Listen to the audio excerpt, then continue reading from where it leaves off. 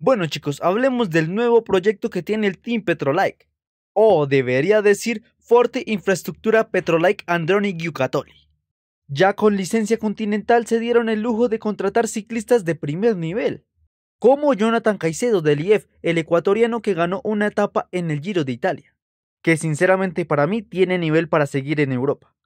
Aunque este no fue el único traspaso entre los dos equipos, también ficharon a Diego Camargo.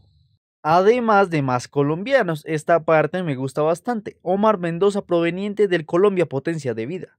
Al igual que Nelson Soto, estos dos le aportarán mucha experiencia a esa escuadra tan joven. Armaron un gran calendario donde incluyeron al Tour Colombia, del cual hablaré después. Y si quieren algo más, Giovanni Sabio es su nuevo manager, ya que se fue del GW Sidermec. El material que van a usar es Scott, todo está increíble. Espero que les vaya bien.